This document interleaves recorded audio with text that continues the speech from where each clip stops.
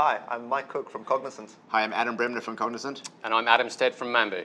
Uh, in the webinar today, we're going to be discussing what is the open marketplace for banking, why should you care, and ultimately, should you as an incumbent bank partner with fintechs and challenger banks? So to learn about these topics, uh, please feel free to watch the video.